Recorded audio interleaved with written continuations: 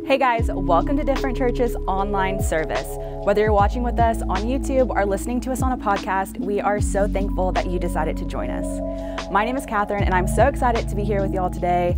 And I have a couple of ways to get you connected. If you're looking for more information about our church, like how to be a part or how to give, you can visit us online at dfrnt.church. If you're like me and you spend a ton of time on social media, head over to whatever platform you use most and give us a follow. This is one of the best ways to stay connected. We are in our series Weird. People have made the Holy Spirit weird and kind of hard to talk about, so in this series, we're going to learn how to get more familiar with who He is and what He does. And to go along with the series, we are selling journals. This year is all about growing, so we are going to write down everything that God is speaking to us. These are just $15, so if you would like to purchase one, you can Venmo us at Different Church and put your address in the memo line. All right, enough from me. Let's jump into the message.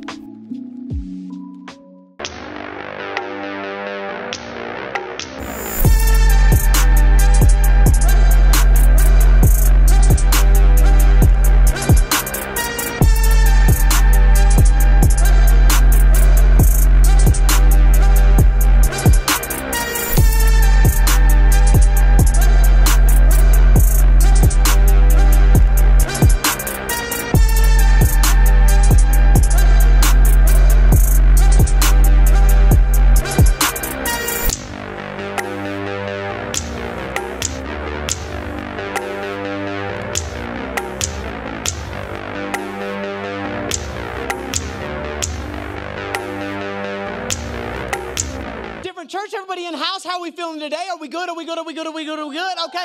Listen, listen, everybody on YouTube, podcast, MySpace, Club Penguin. I have no idea where you're watching from, how you got here, man. I listen. I just want to say thank you so much for being a part, for hanging out, for vibing with us. Listen, my name is Tyler. If you're new, maybe you saw something on TikTok or something, and you came over, you're listening, and you're on the treadmill. Listen, do another however long, however long this sermon is, stay on the treadmill. You might actually, if you start getting dizzy, get off. But outside of that, stay on. We're growing, we're grinding. We're in a series called Weird because so many people, so many churches, right? Like, I've got Jesus, I've got God, and you can keep the Holy Spirit stuff to the side. Nah, nah, nah, nah, nah, fam. Like, we don't do that. We listen, and I know someone's gonna get mad online. We preach the whole Bible, not just the Bible that we like right? I preach every single word we read, every single word we, and we say it all the time. And, and really, for this series, we've been saying, all right, like I believe in God. And, and what does the Bible say? Listen, what does the Bible say? That's easy. The demons do that. But I believe in God, so does Satan. That is not the goal. Belief is not, it's do I trust God? Do I trust his word? Do I trust everything in it? Can I can I read a scripture? I did this last week. You know how my ADHD gets going and, and online, you guys already know. People call like people will literally comment in the comment section, I love Tyler's side quest. Stop. But go with it, go on it with me. John 8, this isn't where we're gonna be, but this is just a passage for you to write down if you're a note taker or anything like that. John 8 32, look at what it says. And you will, what's that word? Know the truth and then the truth sets you free. You know what it doesn't say? Oh, don't get mad at me. You know what it doesn't say? You will read the truth. It doesn't say you will listen to the truth. It does not say that you will post the truth on the timeline. What does it say? I will know the truth. Like there's a difference between reading the word and understanding the word. And I think that a lot of us, and, and listen, I'm already gonna get canceled. We're three minutes into this thing. Stop reading the Bible, start understanding the Bible. Because I will literally go, I did my Bible in a year, but all year did the Bible change you? You can read something and not apply something. That's like me watching workout videos, never going to the gym, never doing anything. I never, I, I watched, I never applied. And too many of us, I do my Bible reading app, I do my Bible reading plan, but that never that never does anything in my life. That never does anything in my marriage. That doesn't do anything in my parenting. You didn't change the way I talk. You knew, you read it, you didn't know it. And if you don't know the word, listen, if you don't know the word, it'll be very dangerous because it says, and you will know the truth, and the truth will what? Set you free. You can't be set free from something you don't know what holds you in captivity. And a lot of times you'll pray that, that God, make my money right. The money's not the issue in your life, the greed is the issue in your life. Because He'll give you more money, you'll get into more debt being single is not the thorn in your side that Paul said. No, no, no, no. It's a lack of identity, and you don't know how to sit with yourself and spend time with God. That's the problem. It's a lack of identity. The marriage, boy, if this if this woman would just leave, if this man would just leave. No, no, no, no. Your inability to serve is the problem, not your spouse. But if you don't know the word, listen, if you don't know the word, you won't know what's holding you captive and you'll pray for things that God's like, bro, that is the least of your problems. That is the least of your problems. Getting steak dinners and stuff on dates, that is the least of your problems. But if you have a Bible, we turn to 1 Corinthians 13. I have to understand the word, not just read the word, not just hear the word. I have to. But I get it all the time. Like, and listen, because our comment section online, our comment section goes crazy 24 7. I would never trust, I would never trust a pre. Listen, if you can trust Wikipedia more than the word of God, you've got a problem. Because right now, I don't know where my phone is. Right now, I'll go edit every single article you read. I'll go manipulate every single thing you read. Well, I listen to Wikipedia because it doesn't ask me for money like you preachers do. Yes, it does. It says donate $1, $5, $10. You don't have a problem having faith. You just have faith in unreliable sources. You want to have faith in the person that stabbed you in the back. You want to have faith in the manager that, that fired you. You want to have faith in everyone but the creator of the universe. You don't have no faith, you have selective faith. And I've got to be very careful that I don't choose to believe everyone but God because I'll go where everyone wants me to go, but where God wants me to go. I got to be careful. So if, we, if you turn to 1 Corinthians 13, and, and, and, and what's 1 Corinthians 13? Everyone knows if you've been to a wedding, like that's the love chapter. Listen, that's the love chapter. That's a wedding chapter. I like that one. I like 1 Corinthians 13. It's like I, I do it sometimes whenever I'm doing a wedding. I do it sometimes. But then as I as I got older, I, I kind of and I began to read the word, I figured out that 1 Corinthians 13 doesn't mean what I thought that it means. It doesn't really have, listen, in the context, imagine that. Reading the Bible in context online, that's crazy, right? If you read it in context, it's a little bit different than what I I I listened to it at a at a wedding. I listened to it at a wedding. And, and before I like before I spoil it, listen, online in house, before I spoil it, I know some of us have like we went to Hobby Lobby and we got love is patient, love is kind. It hangs in your in your uh, kitchen or it hangs in your bathroom. That's cool. It may not mean it, it kind of means about spiritual gifts, but I think God shows that He is patient, He is kind. Like I think it applies there. But the context that is written in Tyler's big brain this morning, listen, we're teaching. We're teaching.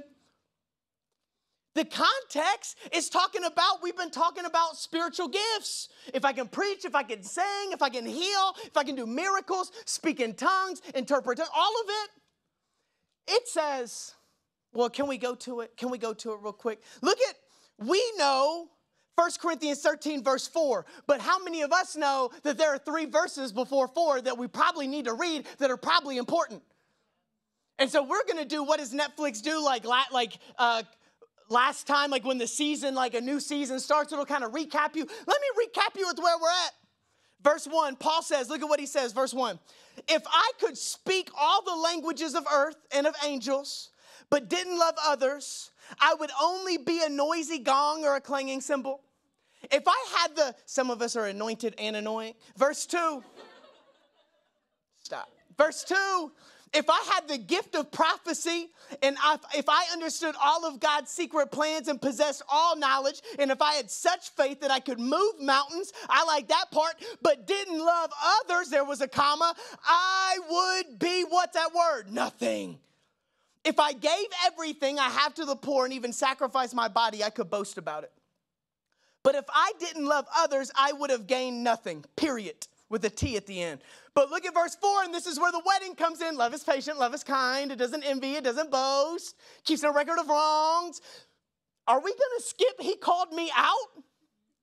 Are we gonna skip, he stepped on my throat right there? No wonder we don't do that in. Because if we were to do it in a wedding, we say, Husbands, I know you think you know everything, but if you don't love, you sound terrible. But we don't we don't do that, right? We don't do that. And I know some of us we've got 1 Corinthians 13 like in our house and we love it. At least you don't have it tattooed all the way down your arm like I do.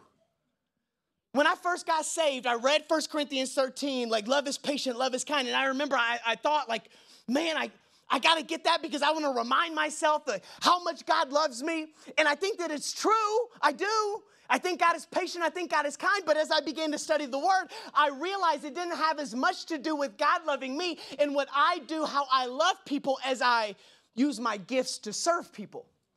But I got it in every now, but listen, little did I know I got it tattooed on the arm that I hold my microphone in.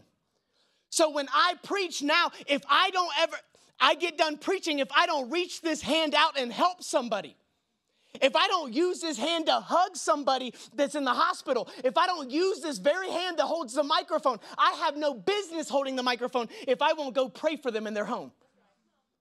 I constantly, I need the reminder I have these gifts. You have gifts, you have talents, you have anointing, you've been anointed by God. But if you don't use them in love, love, all of it's worthless. All of it's worthless. But it's crazy because you'll read the Bible and we won't run to the context. And why is context so important? Remember, I'm getting big brain this morning. We're teaching, we're teaching online. Why is context so important? And it's easy because you won't, listen, if you don't understand the word, you won't be able to stand on the word. And I have to understand everything in this word. That means I take a little more time when I study the word. People come up to me, man, I read the whole book of this today. I'm like, bro, did, what? Did you, do, do you know anything that happened? Did you study any of it? Did you look into it? Did it change your life? No, but I read it. Okay, let's figure out how do I apply the word to my life? How do I get it deep into my soul? What is uh, uh, David said, like, I meditate on your word daily. I write it. How does a young man stay in the path of purity? By writing his word in my heart, Psalms 119 says. How do I stay pure? By writing the word, not hearing the word, not, not uh, whatever, meditating and writing it, writing it in the heart. Context is so big. If I told you right now, my daughter is in a room by herself with another man and he had a knife in his hand and he was cutting into my daughter, what would you say? Get her out! Get her out. Where do we go? I'll swing on him. But then I said, no, she, she's having surgery right now. She's sick and this is gonna save her life. You go, context, please. Why didn't you tell me what was, why didn't you tell me what was going on? Context is so important because it gives you the fullness of what's happening. When we take, listen, and a lot of us, we when we read the Bible, we like the verse sent to us, we get the notification. I got my Bible verse of the day. Listen, candy is bite-sized, steak is never bite-sized. There are some things when you get the, the notification, uh, for I know the plans I have for you, says the Lord, Jeremiah 29 11, and you don't know Jeremiah 29 10 says you're gonna be in captivity and in slavery for 70 years, but I know the plans. When you're in captivity, you'll feel stuck because you didn't know the fullness of the word. Context is key. Context is key. So we've been using love is patient, love is kind, but has Tyler been patient? Has Tyler been kind? It's about me, baby. It's about me, how I use my gifts. But let's go. Let's go to the word. Look at this, verse one. If I could speak all the languages of earth and of angels, all my communicators, preachers, worship leaders, all that, but didn't love others, I would only be a what? A noisy gong. Nobody wants it. You may have something to say, and my grandpa used to say it all the time Tyler, just because you got something to say doesn't mean anybody wants to listen to what you're saying. A lot of us, man, why don't people listen to me? Maybe it's you, it's not them. Well, why don't, why, why don't opportunities show up? Why doesn't this happen? I got so much to say. Do you? Or do you want to hear yourself? Many times I want to talk so I hear myself, so I get validation. But it says right here if you speak in all the languages, you preach all day long, you lead worship all day long, you serve people all day long. You post on stuff all day long. But you don't love others, you'll only be a noisy gong, a clanging cymbal. I remember I preached this not too long ago, and I was banging on a drum the whole time I was preaching. I was like, that's annoying. I don't want to do it again. But you'll be annoying. You can be anointed and annoying very easily. And where we miss this most, hear me, and I don't mean to step and oh, Elections are coming up. Please, please receive this in grace, everybody in the room, everybody online. You cannot be rude on social media and righteous at church on Sunday morning.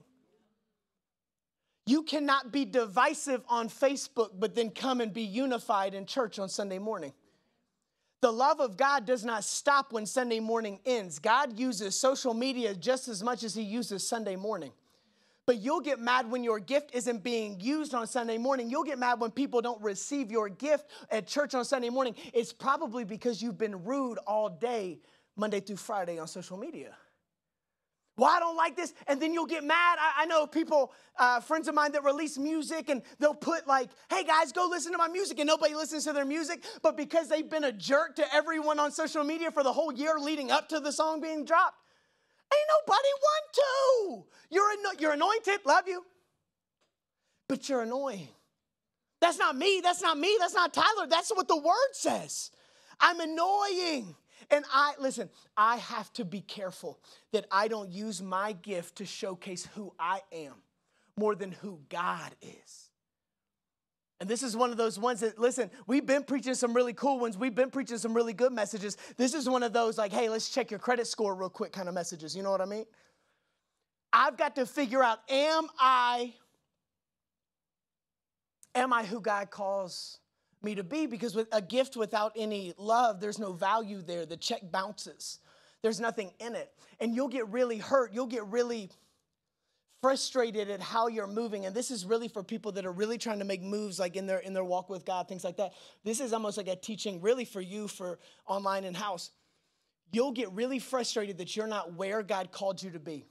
Your gift makes in proverbs it says the gift makes a room for you. It does not keep you in the room.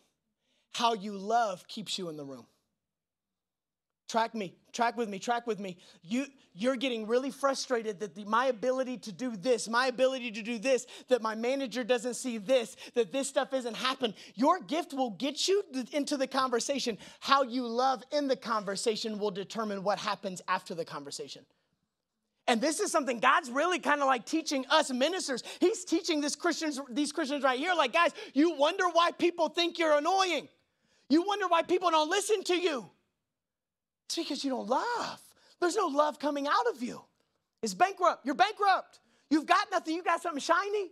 Listen, can I put myself on blast this morning in house? Can I put myself on blast? Listen, when I got my first job, when I got when, when I was doing the application stuff and they hired me, they said, "Hey, we need a bank account to to do direct deposit." And I I'm like 15 years old or something like that. I didn't have a bank account, so I go to the to the bank and I go and I open up my bank account, and they're like, "Well, hey, you get a debit card." And I listen, I had never had a debit card, so you already know I felt rich. Ooh! And so they said, "You can get the normal one, or you can get like a custom one." And boy, I got a custom one. I said, "Well, I want this, I want this," and so it was my own personal debit card, and I remember I got it. And, and I had to show somebody. I had a girlfriend at the time, so I called her. I'm like, "Hey, we're going out. Listen, we're going out to dinner." I took her to somewhere nice like Red Lobster or Chili's or something like that. And whenever we get there, I'm like showing her, I'm showing her the debit card, right? I'm like, look at this thing. And she's like, that's cool. Like she, she was just annoyed at me, honestly. She was just annoyed at me. But she said, Tyler, like, that's cool or whatever. And then the the waiter comes with the check, and I'm like, hey, don't worry about it, boo, I got you. And I and I give him the card. And he takes it and he walks into the back, and about two minutes later, he comes out and he's like, Sir, your card's been declined. And I look at my girlfriend, I don't got nothing else. And she's like, Tyler, I've got it. Like, it's okay. And I felt so bad at the time. But I was showing her how shiny the card was. I, I had gotten the debit card, there was no value in the debit card. I had something that was shiny, but there was no substance inside of it. And many of us, we show up on Sunday mornings and I look good, I sound good, I'm blessed and highly favored. I wear the most colorful suit on Sunday morning, but the moment someone asks you for prayer, you're bankrupt. I got nothing to give you. I'm shiny with no substance. And too many people, this is what Paul's saying. You, you guys look really good. Tyler, you preach really good, but do you show up for anybody? Do you serve anybody? Do you love anybody? How much do you pray? How often do you pray? Is there any substance inside of you? No, man, I'm shiny. I look good though. Listen, I look good. Turn to your neighbor and say, I look good. I look good. I look good. But what does it say right here? If I could speak all the languages of earth and of angels, but didn't love others, I would only be a noisy gong or a clanging cymbal. Verse 2 If I had the gift of prophecy, if I can preach, and I understood all of God's secret plans and possessed all knowledge, and if I had such faith that I could move mountains, but didn't love others, what does it say? I would be nothing. Not only, listen, and he taught and, and, he touches on identity here. I don't know if you notice the difference between you're annoying to now you, there's nothing in me. I have nothing to give. There's nothing inside of me of value, of substance, of anything. He says, if you can do all this, what good is all this if nobody wants to receive it? You know everything, nobody, and, and, and we say it at the church all the time what good is having all the answers if nobody asks you questions? Nobody wants to ask you questions. Nobody wants to know the things that you know. Nobody wants to know the things God's doing in your life. And the dangerous part when it comes to gifts, listen, this is the last sermon we do on the gifts, and then we're moving on to other things. The last thing, when you you cannot seek and study your gift more than you seek and study God. I would rather, listen, I would rather be gifted than godly and then you'll wonder why things are messed up in your life. I would rather look good, I'd rather look sexy than inside have substance inside of me. I'd rather you think I was a good preacher than be a good person. I'd rather think you were uh, you thought I was a good singer than I was servant. I'd rather you think that because I want to be gifted, I don't want to be godly. And we have to be careful that I don't seek after my gift more than I seek after God because it can't listen it cannot take you anywhere and you'll and, and and we get to it at the end. You'll get frustrated when your gift isn't taking you the places you thought it was going to take you. It's not because the gift is bad. It's because your heart using the gift is bad. So let me rearrange my heart for a second. We cannot listen. Your gift isn't valuable when you get into green rooms. Your gift is valuable when you use your gift in hospital rooms for people. I'll know that my gift is good when I get in green rooms and I don't have to talk to nobody. No, no, no. If your if the goal of your gift is to get into a green room, the enemy's probably using your gift in your mind and your heart and your soul.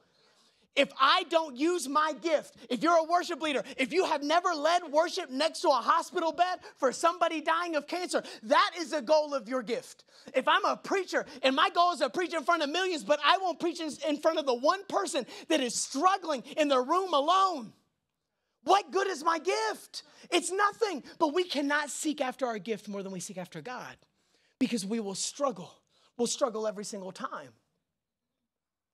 The greatest sermon I ever heard was not from, and, and, I've, and I've had the honor to meet like some really great pastors and preachers over the years. The greatest sermon I ever heard, I was 19 years old, and I was a youth pastor at a, at a church. And there's this, there's this young girl with learning disabilities, and she'd sit in the back corner, and, and no one would really talk to her. She wasn't very uh, verbal or anything like that. So she would sit in the back room. But every single Wednesday night, I'd walk in, I'd give her five, like I'd, I'd hug her, I'd say, How are you? And she'd like do like thumbs up. And I'd be like, All right, girl, you better stay out of trouble. And I'd walk away. And no one would really spend time with her, or talk to her. And I remember one Wednesday night, I had been like doing that for like a year. One Wednesday night, she comes up to me and she gives me a piece of paper and she like just like runs off really fast. And so i open i open it and, and she said pastor tyler. It was like in i could hardly read the handwriting. It said pastor tyler. And i'll never forget it said you are loved by god period. And and and and, and she said you are a strong tower and you're a good friend to me. Love and it was her name. And I just broke down. In that moment. I broke down right then and there because they were words I needed in that moment. I've heard some of the best preachers, I've read some of the best books. None of them had the impact that did. Not because she was a good speaker, not because she was a good writer, but because her heart was where it needed to be when I needed her heart to be there. Too many times I'm trying to be the, I'm trying to say the right words, I'm trying to do the right thing, when in reality, all you need is the right heart.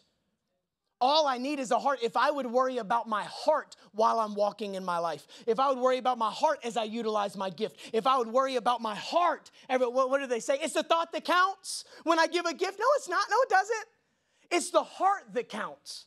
It's not the, it's not your mind, it's the thought. No. Because I could really be saying, I'm gonna give you this gift so I can get this from you. How many of y'all know somebody that manipulates by giving gifts? just giving a gift is not the, is not the move.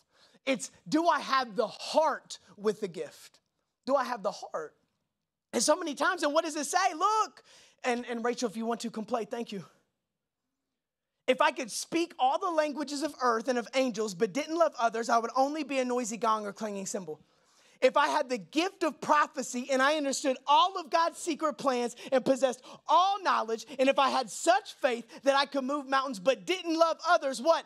I would be nothing.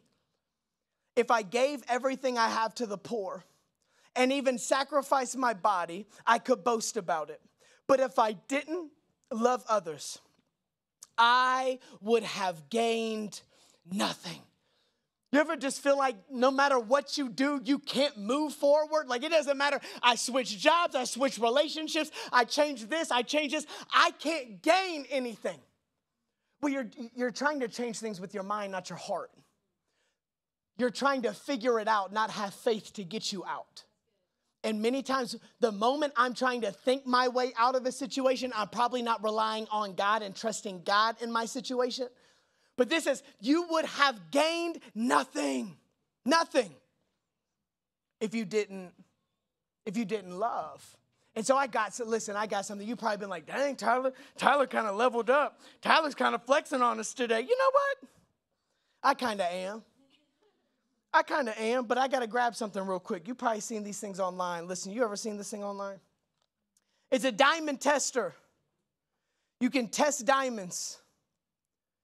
You ever seen someone downtown, like maybe, or even at church, a club, whatever, and they're they're wearing some like jewelry? Me, I've always just assumed they were real. Like if you wear jewelry, I assume it's real.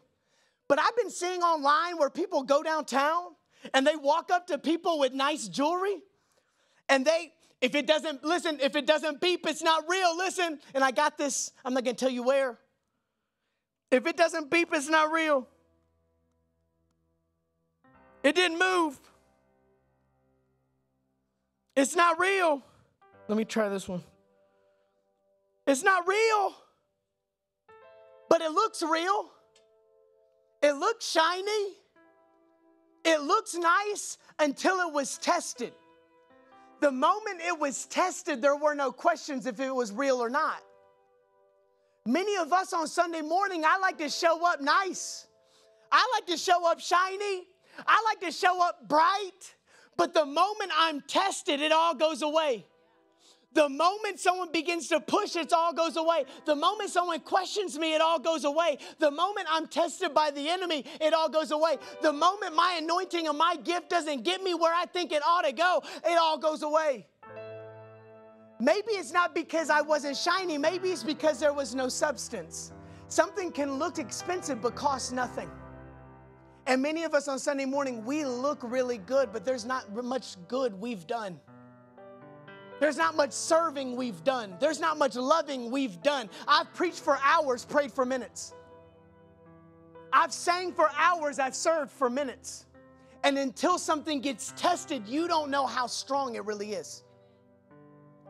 And in your life, listen, and in your life, there will be moments where what, what God put in your life needs to be tested. So, watch this, so you know that it's real.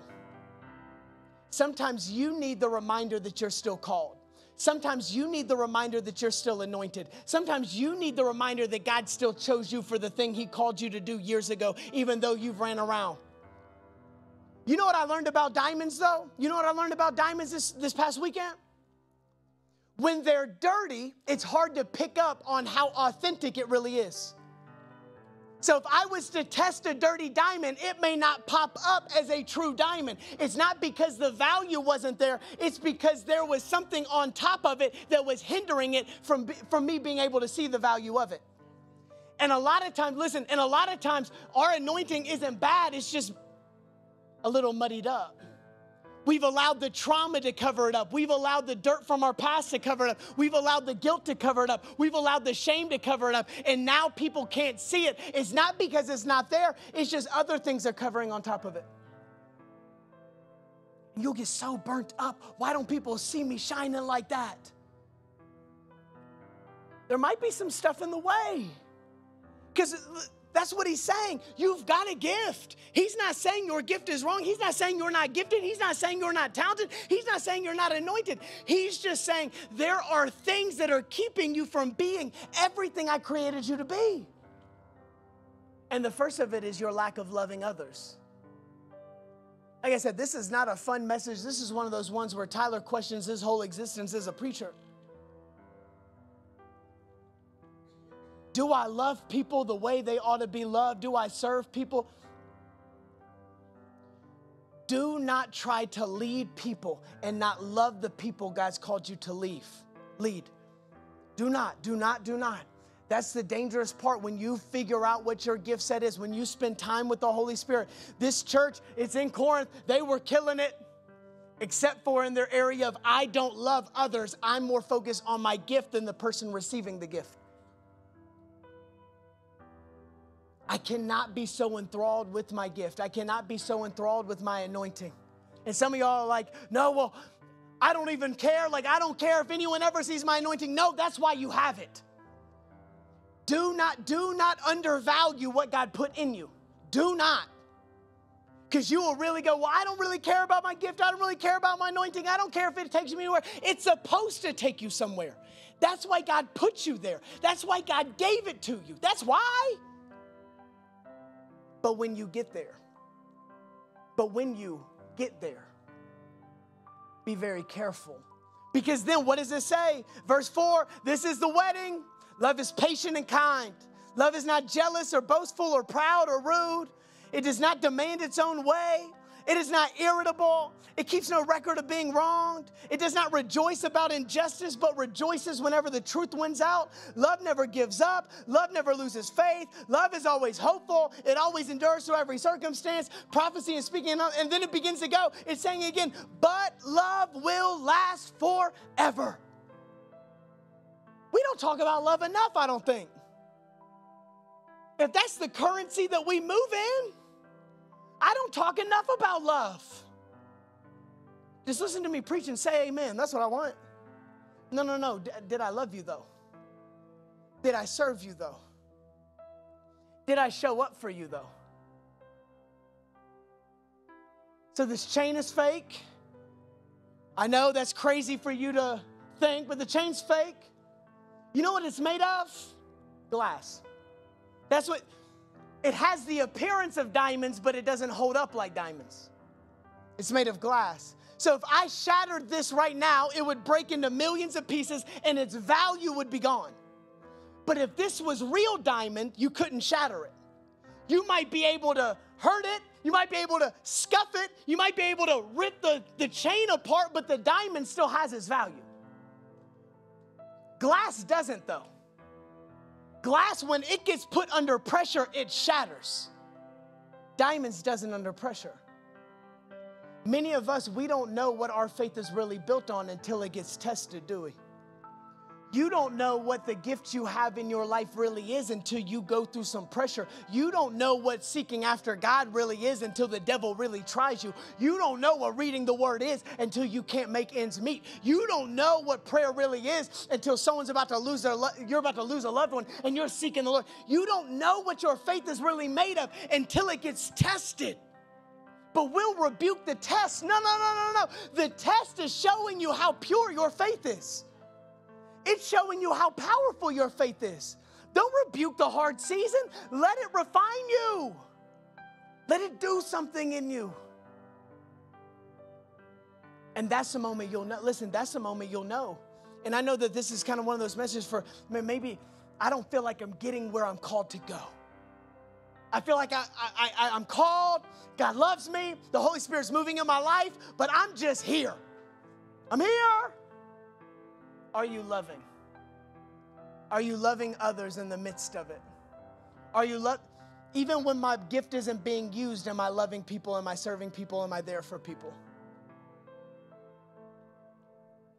And then a lot of times, and people, you know, we've been doing the spiritual gift stuff online. If, if you want, you can reach out, whatever, about finding what your spiritual gift is. A lot of people go, Well, I don't know. Like, it says it, but I don't know.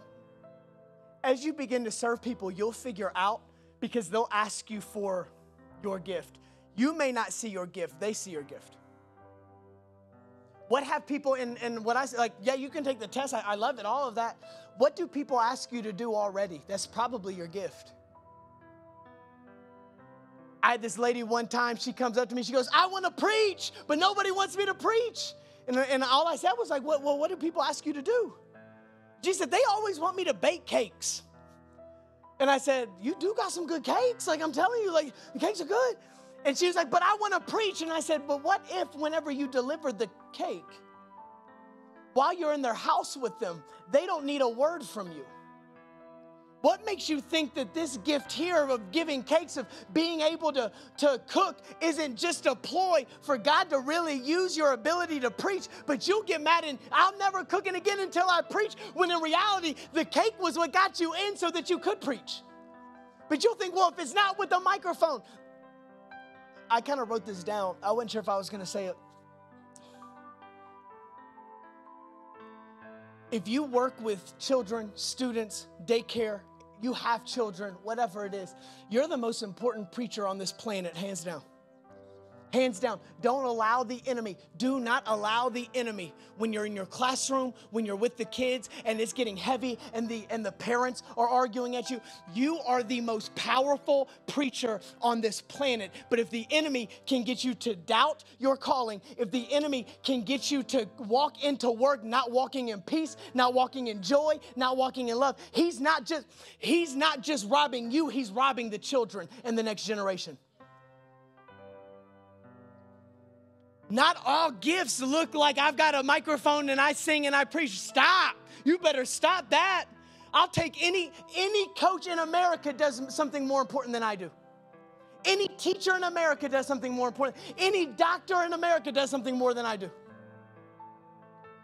Don't lose sight of where God has you right now. In house, online, you can really lose sight because I want to get there. No, you're here now. You're where you need to be now. Do not get it twisted. Do not get it twisted. And so that's my prayer. You feel crushed in this season, like there's a weight on you. Christians cannot be possessed, they can only be oppressed. You know what oppressed means? Something's on top of you, it's weighing on you. And because the enemy cannot enter a pure soul, he cannot enter a, a spirit that is clinging to the Holy Spirit. He cannot enter there, so he will hang on top of you so he makes your walk with God heavier. And so many, listen, so many Christians, because they feel the, the oppression, they begin to go, Well, let me drop my gift so it's lighter. Do not drop your gift. Do not drop your anointing because the enemy is attacking you. Do not. Because if he does, he will rob the people that need your healing, that need your message, that need your word, that need your love. That's how he does it.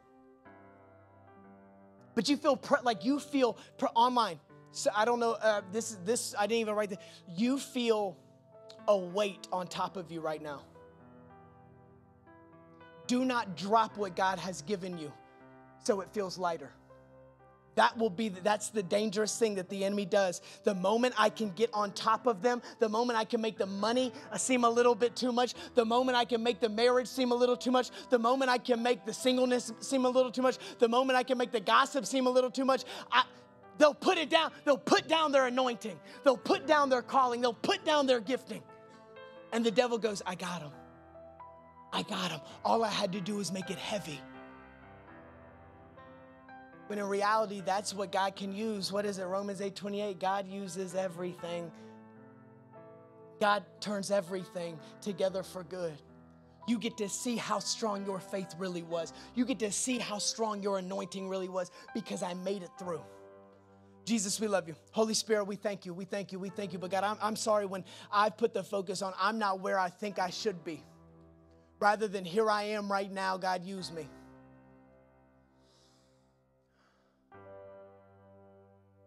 I'm sorry, when I've done everything to try to elevate myself, all I've done was thought about myself. All I've done was worried about everything else except for who are the people around me that need my that need me to pray for them, that need, me to love on them, that need me to serve them. Holy Spirit, we want to be close to you, but I want to be used by you like I never have before. In this next season, I want to walk in my anointing. I want to walk in my gift set like I never have before. Not because I want to elevate myself, but because I know there are people that need to be reminded of how good God is. And so I will continue to walk in my anointing and walk in my calling. Oh God, I'm sorry. Man, it's gotten heavy. Money, my mind, the depression, the anxiety, the bad decisions, the mistakes, the stress. It's really made me question everything I've ever believed. I don't even know like that I if I, if I feel still called like you, like I did back in the day. There's just dirt on me. It's just hidden a little bit more.